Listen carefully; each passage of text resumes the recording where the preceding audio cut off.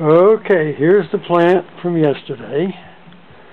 And those very infant, kind of light yellow-green leaves are now looking a lot more perky. Okay, but the big news today is the other cutting started exactly nine days ago.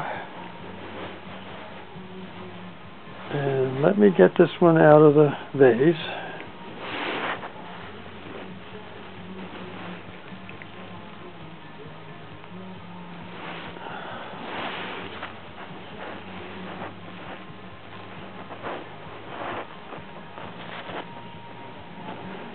And those are the new roots.